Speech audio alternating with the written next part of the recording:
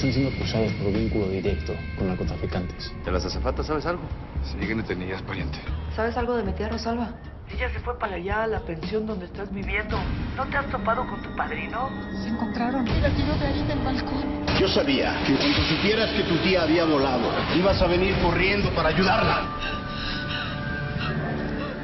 Resulta que mandé un coche lleno de explosivos, porque exploté justo enfrente de la estación de policía. ¡Preparen los hierros! ¡Vamos a ir por las viejas! ¿Me escucharon? ¡Salgan, salgan, salgan, salgan! Decidí que quiero trabajar contigo, pero como piloto. Yo voy a ser tu mano derecha y voy a ser tu mujer. Mira, yo anuncio que lo voy a agarrar y lo voy a matar a él y a su hermano. Los voy a matar a los dos. Oscar, tú mandaste por una bomba a la estación de policías, ¿verdad? ¡Habla! ¡Ándale! ¡Órale, pues! Dame motivos para reventarte la gente una buena vez.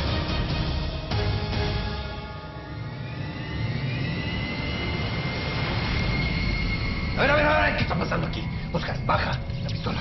Bájala, Oscar. Hazme caso. Bájala. Cálmate, Yolanda. ¡Jálale, mija! ¡Cállate! ¡Ten pantalones! ¡Ándale! Cálmate. ¿Por qué tú lo hiciste, ah? Escúchame. ¿Qué te hicieron? Escúchame, Yolanda. Dile a tu hermano lo que hiciste. Mírame, mírame, mírame. Cálmate. Pregúntale. Cálmate. Dame la pistola. Ya estuvo. ¿Qué pasó? Cálmate. Puso una bomba en la estación de policías. Y mató a todas las muchachas y sabía que estaban ahí. Ok, ok, cálmate. Eso fue algo que se nos salió de las manos.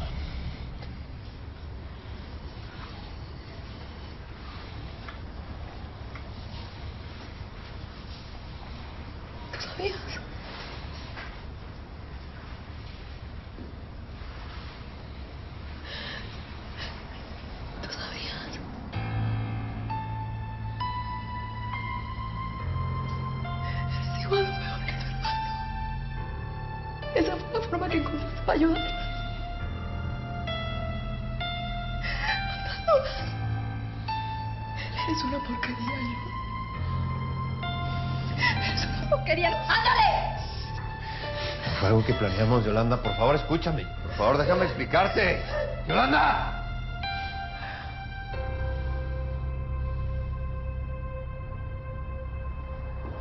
Ahora resulta que tu noviecita puede venir aquí a intentar matarme cuando le dé la gana. Vas a aprender a respetar a mi mujer. Aprende a respetar a la familia. Respeta a los. ¿Qué te pasa, John?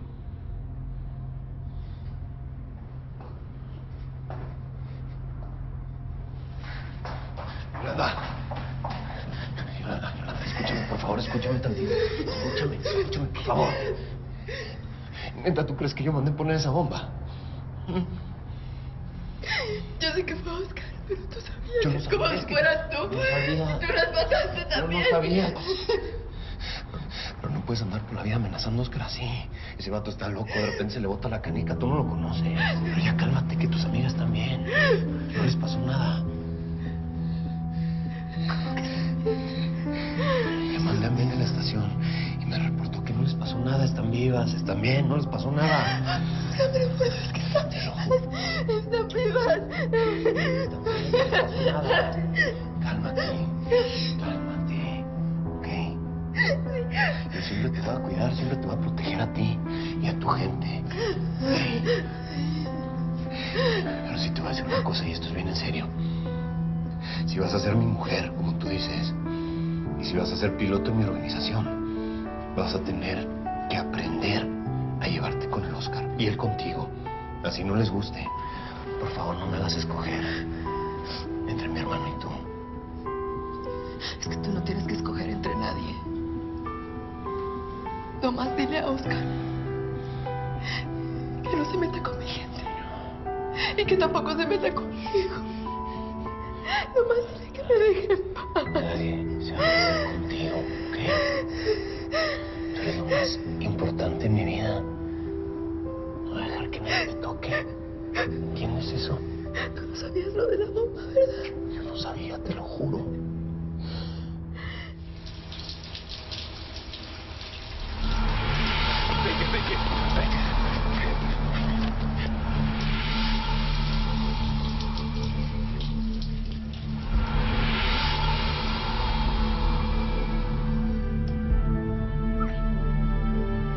Lo correcto, dame eso, yo te puedo defender.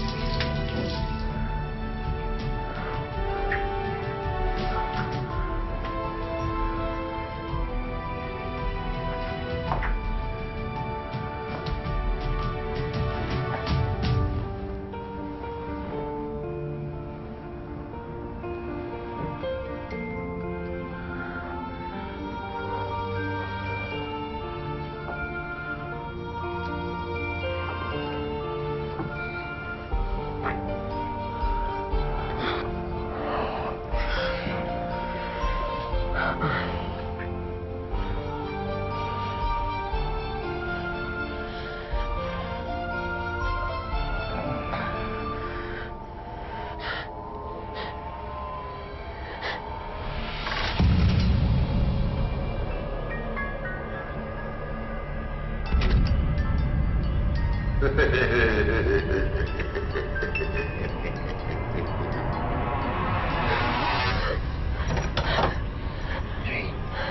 pasó?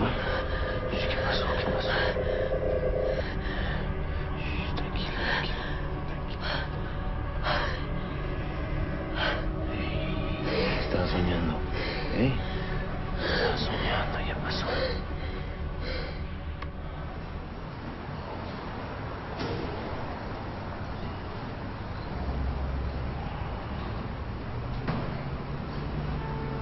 ¿Tenemos algo? Hay que hacer las pruebas de laboratorio, pero parece que en el arma homicida hay dos tipos diferentes de huellas. Seguramente las del atacante y las de la víctima.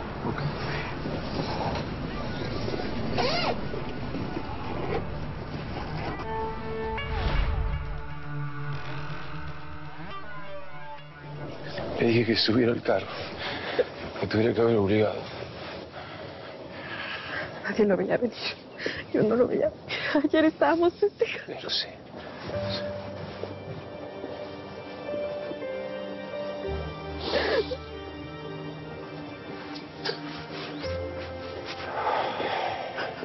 Y la vida es así. La vida es así. Gente, Dave. Tiene una llamada.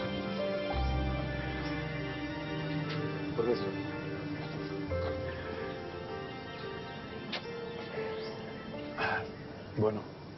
Agent Mejia, this is Montgomery. I, uh, I heard the news about Baker. It's a tragedy. He was a good agent and a dear friend. Yes, sir. We are devastated. I know this is a hard time, but we can't give up now. Since you know the case more than anyone else, you'll be promoted to special agent and uh, take over Baker's job. You okay with that? Thanks, sir. Agent Dean Simpson will travel to Mexico today to support you. He'll be reporting to you shortly. Thanks. Thanks, sir. Got it. ¿Qué quería? Me dio el puesto de Baker. Entonces esto continúa.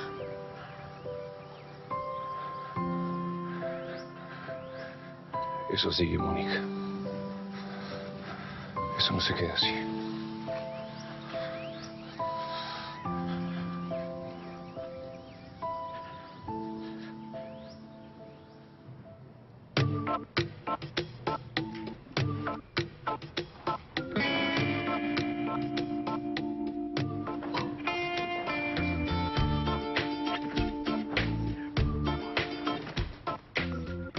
¿por qué te tienes que ir? Ya te dije que mi abogado va a sacar a tus amigas. Y te agradezco mucho, pero es que no es por eso. Me tengo que ir porque mi tía Rosalba está en el hospital. Por eso me voy. ¿Y ahora qué le pasó? Pues tuvo un accidente ahí en la pensión donde vive y, y está en coma. Lo siento mucho, Nora. ¿Por qué no me habías dicho? Pues porque son broncas mías, John. ¿Para qué te voy a estar diciendo? Yolanda, a partir de ahora tus broncas son mis broncas también. ¿Estamos? Ay. John, ¿crees que, que alguien me pueda llevar ahí al hospital? Sí. Hay unos muchachos que te llevan en taxi. Muchas gracias. Este celular por cualquier cosa. Pero te vas y luego, luego regresas. No quiero que te andes exponiendo. No me voy a tardar nada, nada más voy a ver en qué habitación está y si la puedo sacar de ahí del hospital, no quiero que esté ahí. Pues vas a necesitar lana. Ten. No, Ten, por cualquier cosa, llévatela. está bueno, pues. Te la voy a aceptar, pero con mi próximo sueldo te lo pago, ¿eh? Orgullosa eres, me cae. Pues no es que sea orgullosa. No me gusta tener lana que no es mía. ¿Cuándo vamos a empezar las clases de pilotaje otra vez, eh? Ya quiero empezar a trabajar. Cuando nos vayamos a Villa Antigua, la cosa entre fuegos está poniendo muy caliente y nos vamos a tener que mover. Luego te explico cómo está bien la cosa, pero vete con cuidado. Sí. No andes llamando mucho la atención. Muchas Vamos. gracias. Gracias. Ahora pues. Vamos. Morro, háblale ahí. Gracias. No voy a tardar mucho. No te tardes, me avisas cualquier cosa, ¿estamos? Ey. Quédate al hospital donde te diga. Dile pues. Vámonos.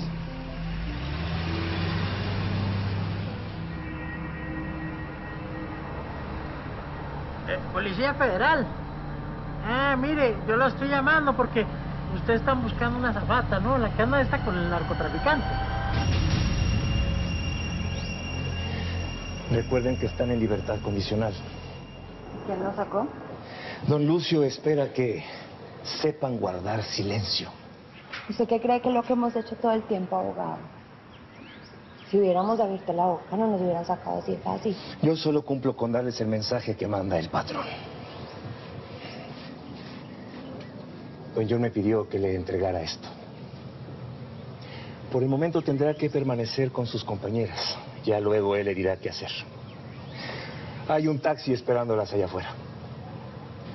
Disfruten de su libertad. Sonrían.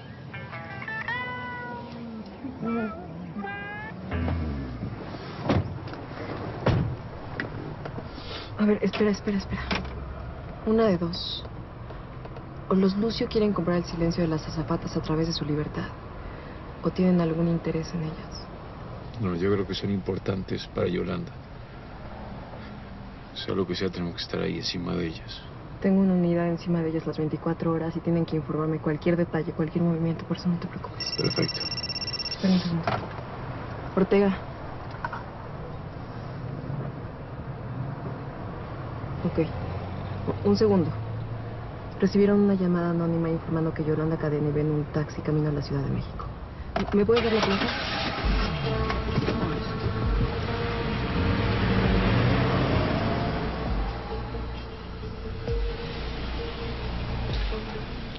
Ya llegamos, señorita. Está haciendo su trabajo. Cualquier cosa te comunicas conmigo por el radio. Sí, ahí estamos en comunicación. Con cuidado. ¿Me marcas o qué? Sí, ahí andamos.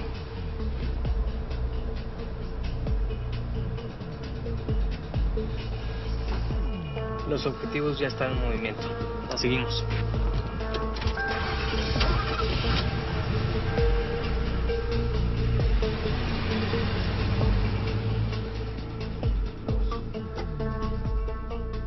Cuatro. Mena. Esta feria. Para los familiares de los presos que perdimos ayer. Esto es lo que marca la diferencia, pariente. A la familia hay que cuidarla.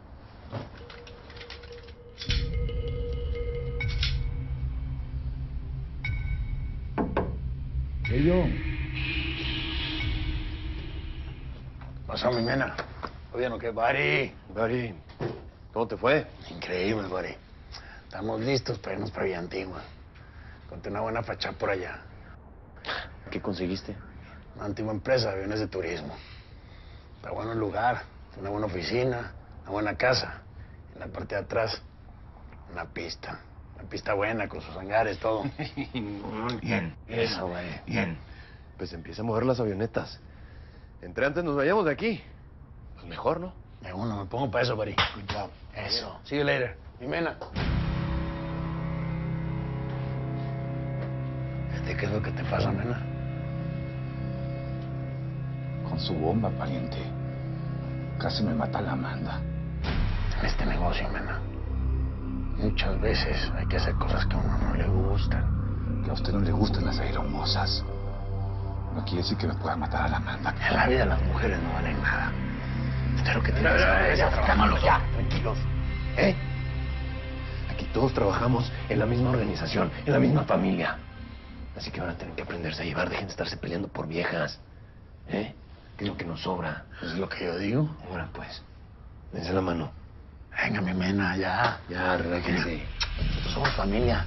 Las mujeres no valen nada. Hay que ponerse a trabajar y punto. Adelante. ¿Qué rollo? Ey, allá nos vemos. What? Era la gente del senador. Nos esperan esta noche en la Ciudad de México. Eso, eso. Bien, bien, buddy, bien. Eh, mi mena, venga. Simón. Eso.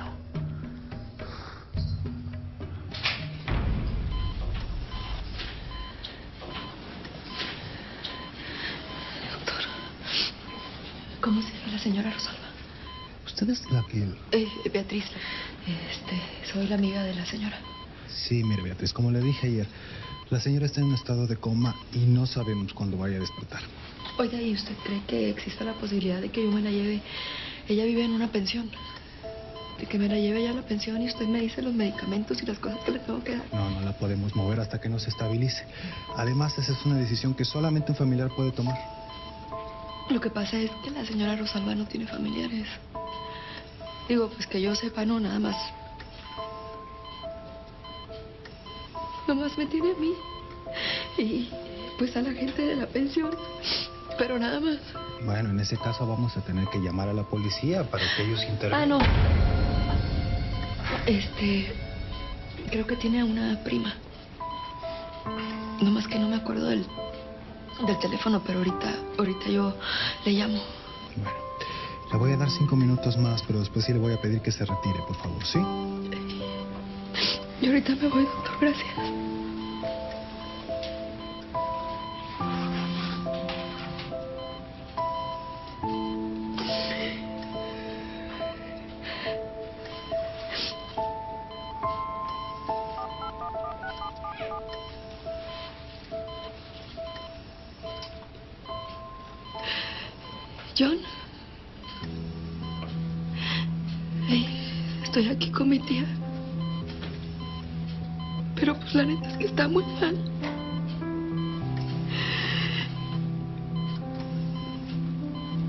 John, te tengo que pedir otro favor.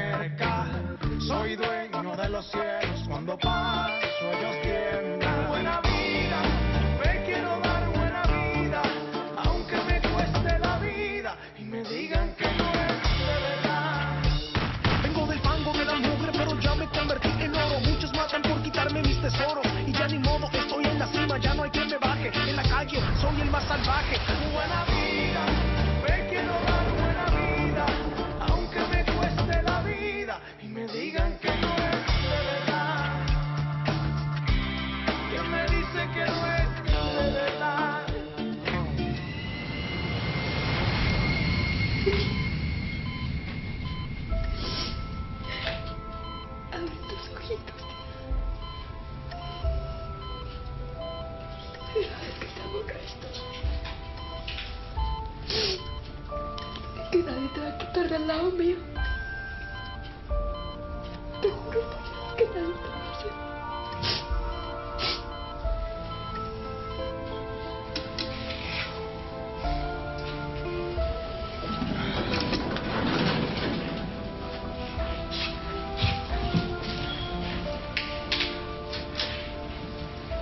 Levantamiento del cuerpo se hizo esta madrugada, doctor.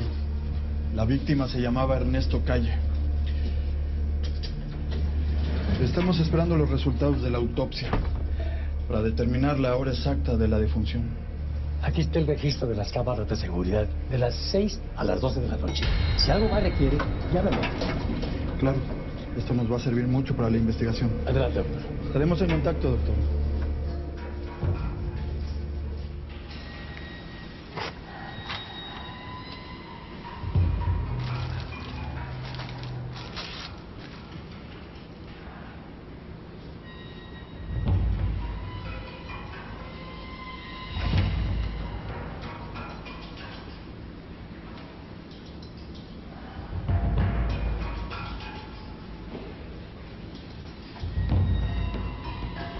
El número que usted marcó no está disponible.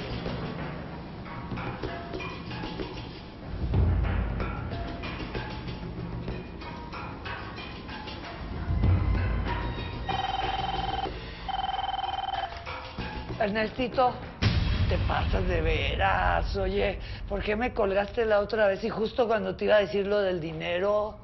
¿Te tardas un chorro en marcarme? Señor Estela, Sí, ella habla. Habla el agente Jiménez de la Policía Municipal de Tres Fuegos. ¿Usted conoce al señor Ernesto Calle? ¿Sí? ¿Tu- ¿Tuvo algún problema? Lamento informarle que el señor Ernesto murió. ¿Cómo? Fue asesinado anoche en el Hospital Central de Tres Fuegos. ¿Cómo? No, no, no, no es cierto.